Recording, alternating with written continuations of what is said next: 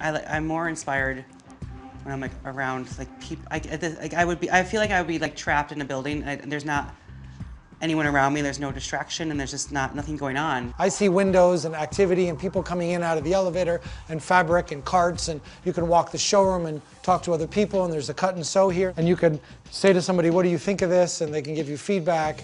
I mean, I don't want to be like sitting here just. Working? Profit season premiere Tuesday 10 Eastern. CNBC. Get yours. Hey CNBC fans, thanks for checking out our YouTube channel. Here you're going to find videos packed with all of the information that you need to be smarter about your finances. You can subscribe by clicking right here and click on all the videos around me or the eye right here to watch the latest from CNBC. Thanks for watching.